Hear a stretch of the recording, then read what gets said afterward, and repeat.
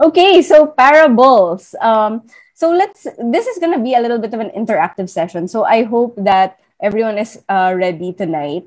Uh, parables. I know that we're all exposed to parables, and you know uh, some of the parables um, in the Bible. Can I uh, hear from you? Uh, what are some parables in the Bible? Can we name some? Either you can place it in the chat, or uh, you can unmute yourselves and uh, share with me what are the parables that you know. Sure marami yan. Okay, what we have here? Parable of the talents, the lost sheep, the prodigal son. Yes, okay, mukhang the prodigal son um, is quite popular. The unforgiving servant. Yes, so we see here that there are a lot of parables um, in the Bible. So tonight, our learning objectives is First, to identify the definition and significance of a parable. Um, what is the importance of a parable? Why does Jesus use parables to teach? Uh, and then, second, of course, since um, we've done a Joy of Discovery Bible study in the past two Monday nights, uh, we will continue uh, learning how to practice the basic skills of Joy of Discovery Bible study by studying a parable. Okay, so can I hear from you? Do you remember the um, the the acronym um, for the Joy of Discovery Bible Study. What is that acronym? Let's see nga if people were listening in the past two sessions. The acronym um, that show the general procedures in Bible study of OIC. Yeah, yes. And we're um let's what what is O? Anyone? What does O stand for? Oh, I see observation. Yes, I. What does I stand for? What's after observation? We interpret. Yes, and then S is wow. I summarize. guess all of you. Yes, we summarize. And then E is what is E? Is this valuable today? What what is E? Evaluate. A is there are two A's, right? What is the first A? Application. And lastly, when we do it in our lives, we call that actualization. Yes. Okay. So it seems like everyone uh, memorizes already the Joy of Discovery Bible study skills, which is uh, very good. Okay. So what is a parable? Um, okay. So I'm not a mathematician, um, but parable um, comes from the Greek word parabole. Uh, I hope I'm saying that correctly. Para, which means alongside, and bole, which means throwing. So in the left side, you see um, a parabola, right? Like in mathematics, um, a parabola is a plane curve which is mirror symmetrical and is approximately U-shaped, as you see here on the left. So just like a parabola, a parable also mirrors reality it mirrors reality, but in a different direction. So this could be a new idea, um, or in some cases, like tonight, it's the teaching of Jesus. So um, para, which means alongside, also means to compare. And bole means to throw. So the sense of comparing or throwing an idea beside another is basically the heart of the word parable. Okay. So feel free to take screenshots as well to help us remember the meaning of parable. So what is a parable? A parable, um, so of course, just like in OICA, uh, we first identify the keyword. So the keyword here is parable, and you define it, right? A parable is a short and simple story that teaches a moral lesson. So it teaches us something. It's a tale about um, a, sim- uh, a simple and common subject to illustrate a deeper, valuable moral lesson. So, if you notice um, in Jesus's parables, there are a lot of illustrations, a lot of imagery, right, that he uses to help us to understand a moral lesson. So, he's trying to teach something deeper. And in order for us to understand, he uses imagery and illustrations. So, a parable usually utilizes the full story to produce the spiritual lesson. So we know um, that sometimes a proverb, a metaphor, a simile, or figure of speech uh, usually centers um, on a word or a phrase or a sen- sentence. But Um, the parable, on the other hand, utilizes the whole story to um, drive out a moral lesson. Okay. Okay, so why parables? Why does teacher? Uh, why does Jesus use parables in his teachings? So we know um, that this is the method that all men knew. So Jews were familiar with teaching um, by parables. So what does that mean? So there was one basic difference between the Greek and the Jewish mind. The Greek loved argument for argument's sake.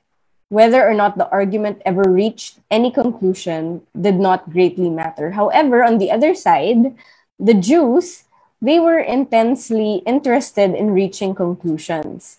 And further, these conclusions had to be such that they led to action. So Jesus knew um, that was in man. So he gave us, he gave people, he gave the crowd cameo like pictures that we call parables. So cameo like pictures is in illustrations and um, images so that his great ideas, his teachings, um, might become more understandable, more comprehensible, and relatable to the people that he was talking to. So um, we know that the Jews, since the Jews were familiar uh, with teaching by parables, uh, that there were also parables in the Old Testament. So let me read one of them from 2 Sam- Samuel 12, 1 to 7. So, and the Lord sent Nathan to David.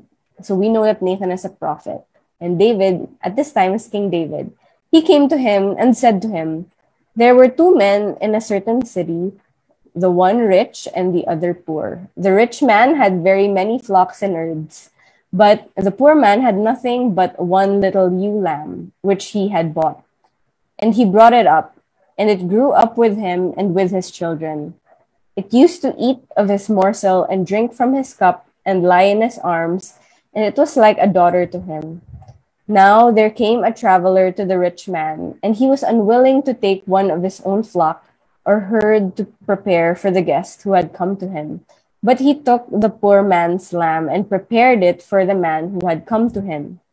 Then David's anger was greatly kindled against the man, and he said to Nathan, As the Lord lives, the man who has done this deserves to die. And he shall restore the lamb fourfold because he did this thing, and because he had no pity. Nathan said to David, You are the man. Thus says the Lord, the God of Israel I anointed you king over Israel, and I delivered you out of the hand of Saul. So, what is this parable in the Old Testament telling us? So, basically, um, Nathan is telling David, um, actually, this is David's story. So, at this time, um, David has already con- committed murder and sin um, against Uriah and Bathsheba. So, uh, the one rich man that's being um, portrayed in the parable is actually David, and the other poor um, is actually Uriah. Um, and the one little ewe lamb represents Bathsheba. And so when when it says here, he took the poor man's lamb, um, the parable is saying that the rich man took the poor man's wife as kind of um, theft, right? Like he took something that didn't belong to him. Um, and at the end, Nathan reveals that actually, um, so we see here that David is angry with the rich man, not knowing at this time that the rich man being talked about by Nathan was actually him.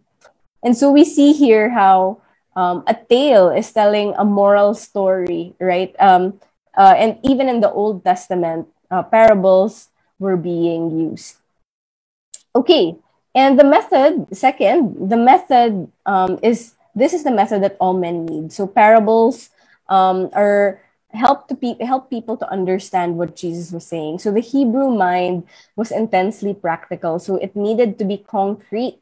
Um, uh, the stories needed to be concrete in order for the Hebrews to understand uh, the teaching that Jesus was trying to communicate. So if Jesus had argued purely abstractly using only ideas um, and theories, then only a few might have understood him. And that's why Jesus taught in parables. Okay. So the principles of interpretation. Um, some uh, two principles that I want to call to mind as we look at a parable. So, firstly, um, two things to remember is first to understand any parable properly, we need to have a knowledge of the circumstances in which it was spoken. So, um, as you found out in the previous JOD session, context changes everything, right? So we want to know um, what was happening when the Lord was sharing this parable. Why was the Lord sharing this parable at that particular time?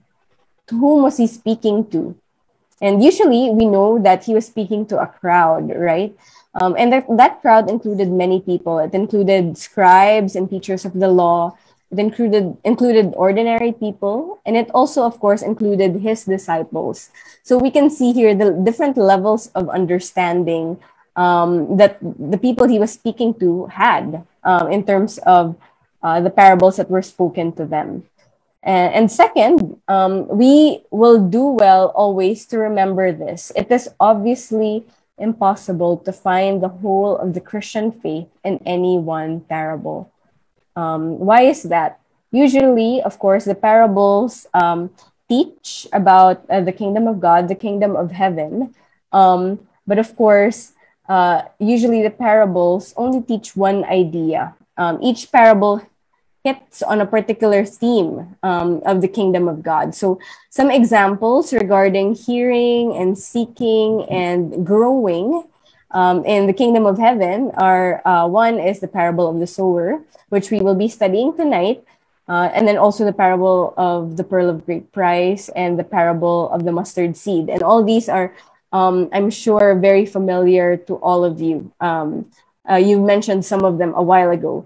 So, examples uh, of parables that pertain to loss and redemption um, are the parable of the prodigal son and the parable of the lost coin or the lost sheep. And then, of course, we also have parables that show love and forgiveness. We see that in the parable of the Good Samaritan, among others. So, um, there are various themes that are being communicated in the parables that Jesus communicates to us.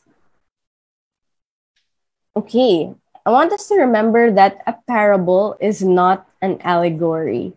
So you might want to uh, ask, okay, so another keyword here is allegory. Um, what is an allegory? So an allegory is a story in which every person, event, and detail has an inner meaning and stands for something else. Again, an allegory is a story in which every person, event, and detail has an inner meaning and stands for something else. So it is like an extended metaphor. So, what are examples of allegories? So, you've he- heard this before.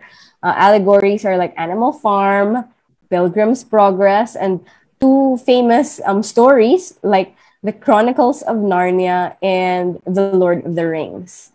Why? Because um, every person, detail, and event has an inner meaning and stands for something else.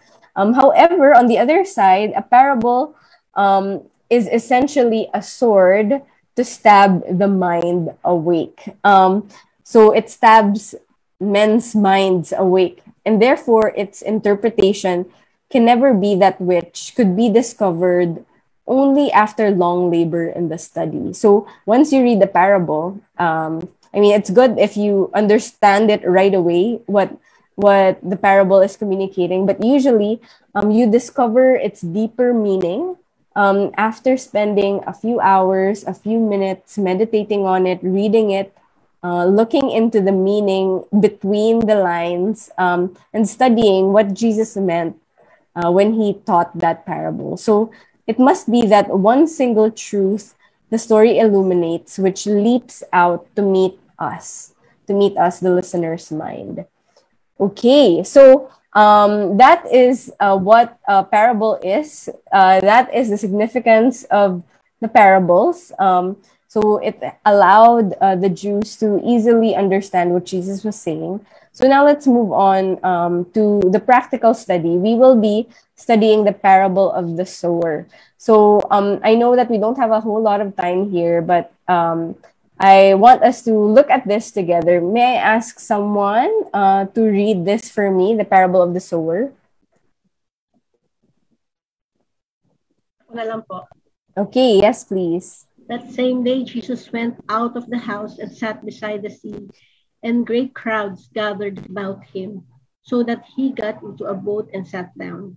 And the whole crowd stood on the beach, and he told them many things in parables, saying, A sower went out to sow. And as he sowed, some seeds fell on the path, and the birds came and devoured them. Other seeds fell on rocky ground where they did not have much soil. And immediately they sprang up, since they had no depth of soil. But when the sun rose, they were scorched. And since they had no root, they withered away.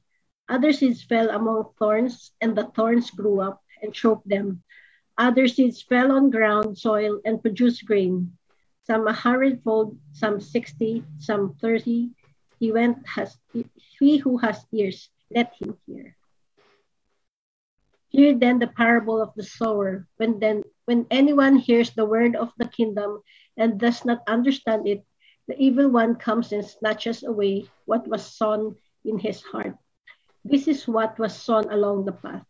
As for what was sown on rocky ground, this is the one who hears the word and immediately receives it with joy. Yet he has no root in himself, but endures for a while, and uh, and when tribulations or persecutions arises on account of the word, immediately he falls away. As for what was sown among thorns, this is the one who hears the word, but the cares of the world and the deceitfulness of riches choke the word, and it proves unfruitful. As for what was sown on good soil, this is the one who hears the word and understands it. He indeed bears fruit and yields. In one case, a hundredfold, in another 60, and in another 30. Okay, thank you very much. Um, let me just stop sharing my screen here. Um, and at this time, I want to um, share with you uh, a worksheet. I don't know if this has been passed on to you, but um, I'm sending it over uh, via chat. Um, if you see it, uh, please give me a thumbs up. I hope you can see it. I've sent it. Okay, perfect. Please do open it um, and we will do this uh, together. Okay. Um, firstly, I want to say as well that we might not be able to finish um, the entire worksheet, but I'm giving this to you also uh, as a future assignment um, so you can continue to practice uh, studying the, the parable um, on your own time, bring it into your own prayer time. But let me share uh, what I have here. So, what you have received is uh, the worksheet for the parable of the sower. So, we've read the parable. So, now um, in a few minutes, let us practice observation and only type out exactly as the parable indicates. So, um, I think I will uh, maybe let's just do um, these two verses and then we will do uh, the following verses 4 to 9 and 18 to 23. So, let's see verse 1. So, verse 1 says, That same day, Jesus went out of the house and sat beside the sea.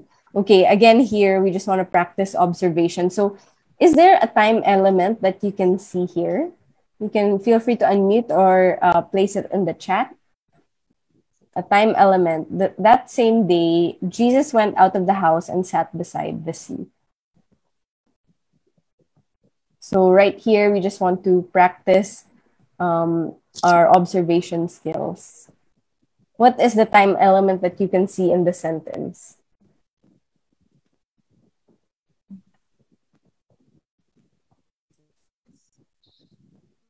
Any time of day that is mentioned here?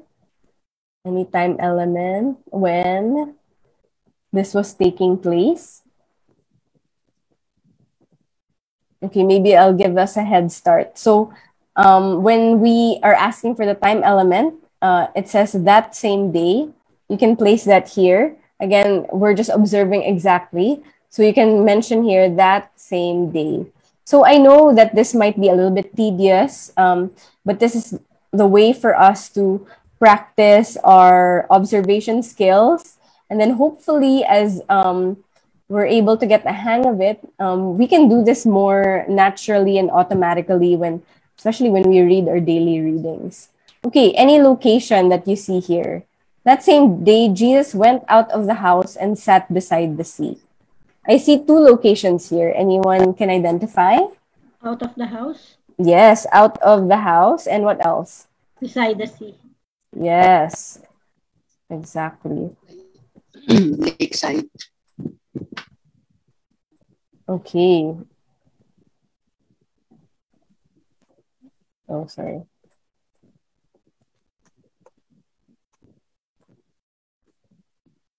Okay. Um, and who is the character here? Jesus and Jesus. That's right. Uh, and what was happening? So a clue with what? With what here is um the verb. What is the verb here? What are the verbs That- here? Went, around went, went. Yes, went out of the house and Sat. sat beside the sea. So these are um, again uh, just practicing our observation skills. So uh, as I mentioned, the what usually signifies. I mean, it's helpful to identify where are the verbs because what shows that there's action happening, right? Okay, so um, I will leave this to you. Um, verses 1, 2, 3, and 9 to do on your own um, because I want to focus on the type of soil. So um, all of you have this worksheet already, but I want us to identify uh, what is the type of soil in verse 5. And as he sowed, some seeds fell along the path, and the birds came and devoured them. What is the type of soil here? Where the seeds fell. Where did the seeds fall? In verse 4.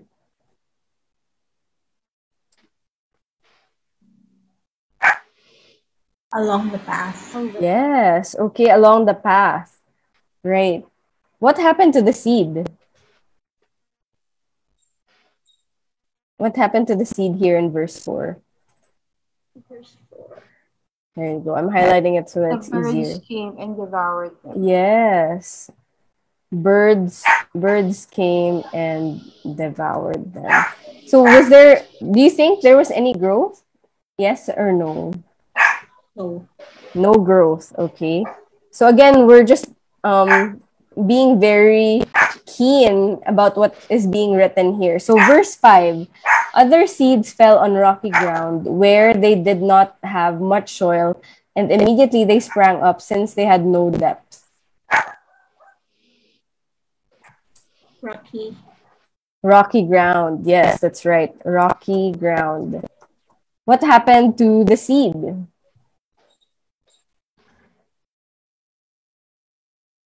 They immediately sprang up. Okay, immediately sprang up. Was there any growth? Yes. Yes. Okay. Any other observation about the growth? Kasi when the sun rose, they were scorched. Yes, that's right. So that's what happened to the seed. They were scorched. Was there a reason why, uh, given by Jesus, why um, they immediately sprang up and were scorched?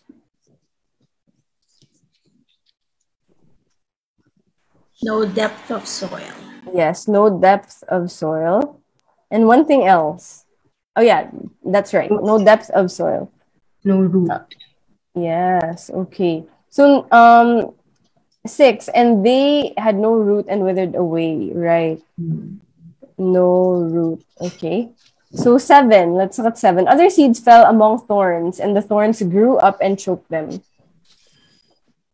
Yung. What kind of soil? Hardy. Sorry? Thorn.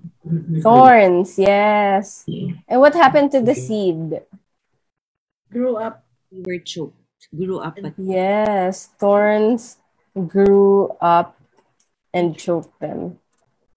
Okay, I guess you're getting the hang of this. Um, so we have, let's look at the, the ninth So number nine, it says, He who has ears, let him hear. Okay. So parable of the sower explained. Now we go to verses 18. So anyone who, um, now we want to identify here uh, messages or like, um, or sentences that says, anyone, when anyone hears the word of the kingdom of God and does not understand it, the, the evil one comes and snatches away what has been sown in his heart. So what happens to the word? You also want to um, identify what usually happens to the word when it is um, heard by this particular person and how the illustration ends. So, um, what happens to that word? Is it choked or um, is it received, and why it ends that way? Okay, so um, let's see verse 19.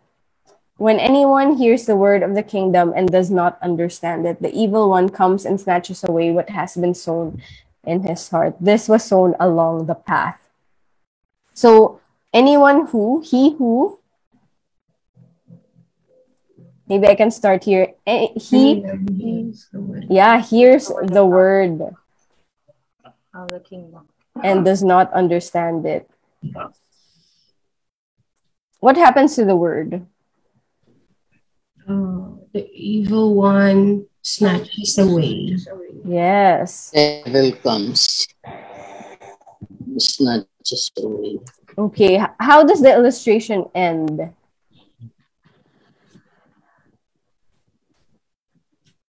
I guess we know that it's snatched away, right? Snatched away. Okay.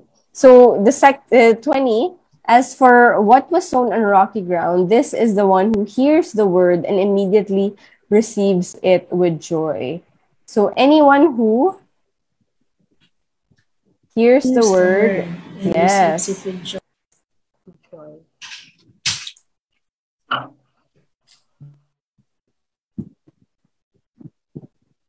And then number 21, yet he has no root in himself, but endures for a while. And when tribulation or persecution arises on a cor- account to the word, immediately he falls away. So, what happens to the word?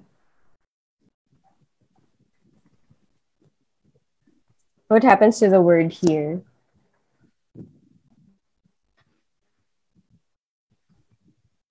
Falls away. Um, Yes, it falls away. So maybe we can put here falls away. That's that's the illustration that uh, that's how the illustration ends. That's right. But what happens to the word?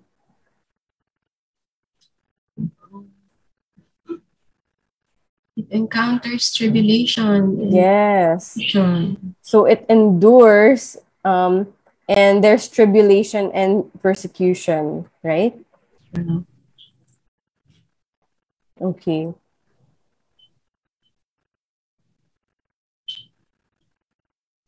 And number 22, as for what was sown among thorns, this is the one who hears the word, but the cares of the world and the deceitfulness of riches choke the word and it proves unfruitful. What happens to the word here? Or basically, anyone who Fell among the thistles. Yeah, so here's the word, but cares of the world.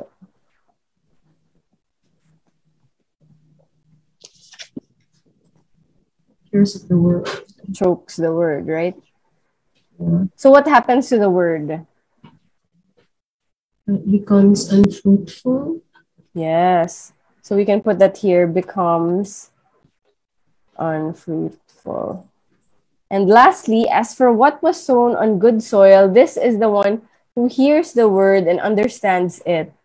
He indeed bears fruit and yields in one case a hundredfold, in another sixty, and in another thirty. So Yeah. anyone who Hears the word and understands it. Yes. So you can see the pattern here, right? What happens to the word? Bears fruit. Yes, bears fruit. Yields.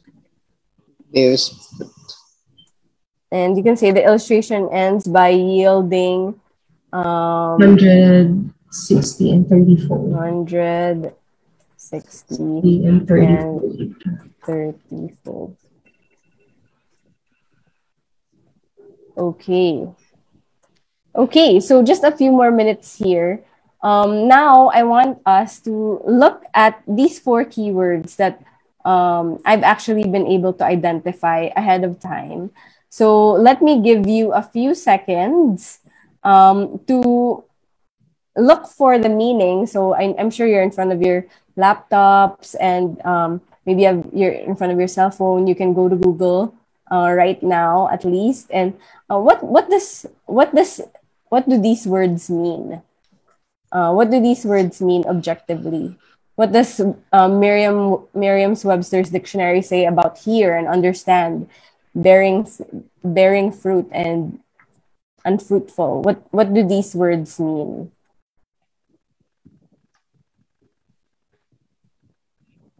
Hear means perceive with the ear, the sound, Okay. or inform Okay. ear. Yeah. Okay. Thank you. How about understand? What does understand mean?